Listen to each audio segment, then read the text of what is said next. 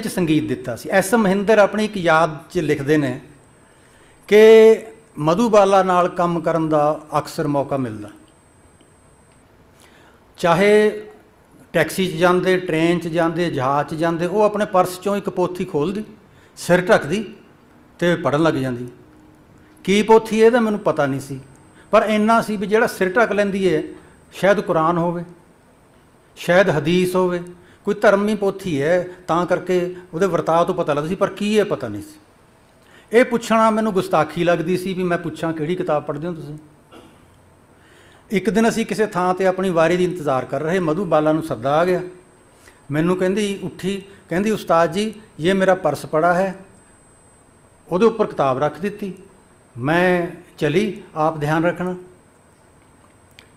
ਉਹ ਜਦੋਂ ਚਲੀ ਗਈ, ਜੇ ਤਾਂ ਕਿਤਾਬ ਅੰਦਰ ਬੰਦ ਕਰਕੇ, ਜ਼ਿਪ ਬੰਦ ਕਰਕੇ ਚਲੀ ਜਾਂਦੀ, ਫਿਰ ਮੈਂ ਬੇਅਦਬੀ ਨਹੀਂ ਕਰਦਾ ਸੀ ਖੋਲਣ ਦੀ। ਕਿਉਂਕਿ ਮੇਰੇ ਹਵਾਲੇ ਕਰ ਗਈ ਤੇ ਉਹ ਕਿਤਾਬ ਪਰਸ ਦੇ ਉੱਪਰ ਹੀ ਪਈ ਸੀ। ਮੈਂ ਕਿਤਾਬ ਚੁੱਕ ਲਈ। ਉਹ ਫਾਰਸੀ ਅੱਖਰਾਂ 'ਚ ਜਪਜੀ ਸਾਹਿਬ ਦੀ ਬਾਣੀ ਸੀ।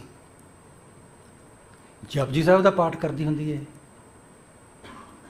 ਜਦੋਂ ਆਈ, ਮੈਂ ਉਹਨੂੰ ਪੁੱਛਿਆ ਵੀ ਤੂੰ ਜਪਜੀ ਸਾਹਿਬ ਦਾ ਪਾਠ ਕਦੋਂ ਕਰਨ ਲੱਗੀ? ਉਹ ਕਹਿੰਦੀ, ਵਾਪਸੀ ਵੇਲੇ ਦੱਸੂਗੀ ਤੁਹਾਨੂੰ ਜਦੋਂ ਆਪਾਂ ਸਫ਼ਰ ਕਰਾਂਗੇ।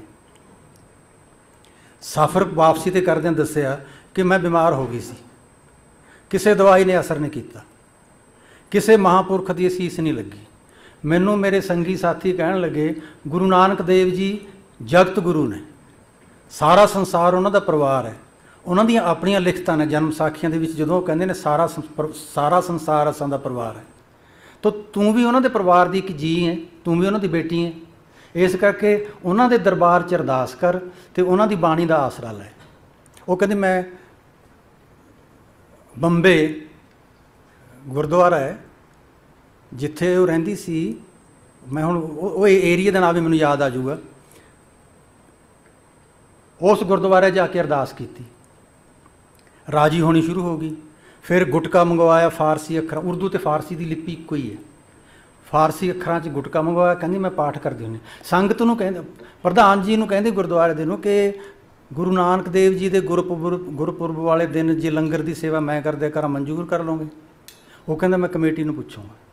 ਕਮੇਟੀ 'ਚ ਗੱਲ ਰੱਖੀ। ਕਮੇਟੀ ਕਹਿੰਦੇ, ਸਾਨੂੰ ਕੀ ਇਤਰਾਜ਼ ਇਸ ਗੱਲ ਦਾ? ਸੇਵਕ ਸੇਵਾ ਕਰਨਾ ਚਾਹੁੰਦਾ ਤਾਂ ਕਰੇ। ਅਰਦਾਸ ਹੋਣ ਲੱਗੀ ਉਹ ਐਸ ਮਹਿੰਦਰ ਨੂੰ ਦੱਸ ਰਹੀ ਹੈ, ਕਹਿੰਦੀ, ਮੇਰੇ ਜਦੋਂ ਪ੍ਰੋਡਿਊਸਰ ਨਾਲ ਇਕਰਾਰਨਾਮਾ ਦਸਖਤ ਹੁੰਦਾ ਹੈ, ਉਹਦੇ 'ਚ ਜੋ ਸ਼ਰਤਾਂ ਉਹਨਾਂ ਦੀਆਂ ਹੁੰਦੀਆਂ ਨੇ, ਮੈਂ ਮੰਨਦੀ ਹਾਂ ਵੀ ਦੇਸ਼ 'ਚ ਜਾਂ ਵਿਦੇਸ਼ 'ਚ ਜਿੱਥੇ ਵੀ ਐਕਟਿੰਗ ਕਰਨੀ ਪਊਗੀ, ਕਰੂੰਗੀ, ਜਾਊਂਗੀ।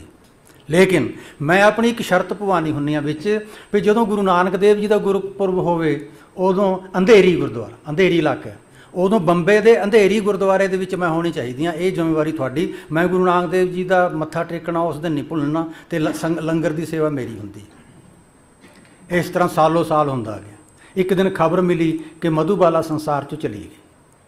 ਉਹਦੀ ਆਤਮਾ ਦੀ ਸ਼ਾਂਤੀ ਵਾਸਤੇ ਪਾਠ ਦਾ ਭੋਗ ਪਾਇਆ ਗਿਆ। ਪਿਤਾ ਜੇ ਮੌਜੂਦ ਸੀ, ਪਿਤਾ ਹਾਜ਼ਰ ਹੋਇਆ।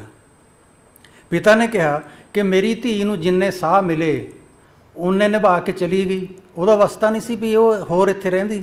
ਪਰ ਉਹਦੀ ਜਿਹੜੀ ਇਹ ਇੱਛਾ ਸੀ ਵੀ ਲੰਗਰ ਦੀ ਸੇਵਾ, ਪ੍ਰਕਾਸ਼ ਪੁਰਬ ਤੇ ਉਹਦੀ ਹੋਵੇ, ਇਹ ਚਾਲੂ ਰਹਿਣੀ ਚਾਹੀਦੀ। ਹੈ ਮੇਰੇ ਕੋਲ ਜਿਹੜਾ ਪੈਸਾ, ਇਹ ਵੀ ਹੋ ਸਕਦਾ ਹੀ ਹੈ। ਉਹਦੇ ਨਾਂ ਦੀ ਅਰਦਾਸ ਹੋਵੇ। ਉਹਦੀ ਮੌਤ ਪਿੱਛੋਂ ਵੀ ਮਧੂਬਾਲਾ ਦੇ ਨਾਂ ਦੀ ਅਰਦਾਸ ਹੁੰਦੀ ਰਹੀ ਲੰਗਰ ਦੀ। ਫਿਰ 6 ਸਾਲ ਬਾਅਦ ਖਬਰ ਮਿਲੀ, ਪਿਤਾ ਵੀ ਚਲੇ ਗਏ। ਸੰਗਤ ਨੇ ਉਹਨਾਂ ਦੇ ਆਤਮਾ ਦੀ ਸ਼ਾਂਤੀ ਨਿਮਿਤ ਪਾਠ ਦਾ ਭੋਗ ਪਾਇਆ। ਸੰਗਤ ਦੇ ਵਿੱਚੋਂ ਮੈਂਬਰਾਂ ਨੇ ਕਿਹਾ ਵੀ ਪਿਓ ਪੁੱਤ ਆਖਰੀ ਸਾਹਾਂ ਤੱਕ ਤਾਂ ਸੇਵਾ ਕਰਦੇ ਰਹੇ, ਧੀ ਪੁੱਤ। ਤੇ ਜੇ ਸੰਸਾਰ ਚੋਂ ਚਲੇ ਗਏ, ਉਹਨਾਂ ਦਾ ਕਸੂਰ ਥੋੜਾ ਇੱਥੇ ਅਰਦਾਸ ਮਧੂਬਾਲਾ ਦੇ ਨਾਂ ਦੀ ਹੋਣੀ ਚਾਹੀਦੀ ਅੱਗੋਂ ਨੂੰ ਵੀ। ਐਸ ਮਹਿੰਦਰ ਕਹਿੰਦੇ ਨੇ, ਗੁਰਪੁਰਬ ਵਾਲੇ ਦਿਨ ਤੁਸੀਂ ਅੰਧੇਰੀ ਗੁਰਦੁਆਰੇ 'ਚ ਜਾਓ ਦੁਪਹਿਰ ਨੂੰ, ਅਰਦਾਸ, ਅਰਦਾਸੀ ਨੂੰ ਅਰਦਾਸ ਕਰਦਾ ਸੁਣੋ। ਮਧੂਬਾਲਾ ਆਪ ਦੀ ਧੀ ਵੱਲੋਂ ਪਿਤਾ ਲੰਗਰ ਦੀ ਸੇਵਾ ਹਾਜ਼ਰ ਹੈ, ਮਨਜ਼ੂਰ ਕਰੋ ਸੰਗਤ ਵਿੱਚ ਵਰਤਾਨ ਦੀ ਆਗਿਆ ਦੇ ਤੋ ਮੁਸਲਮਾਨ ਕੁੜੀ ਹੈ ਇਹ ਮਧੂਬਾਲਾ ਇੱਕ ਤਾਂ ਇਹ ਘਟਨਾ। ਦੂਜੀ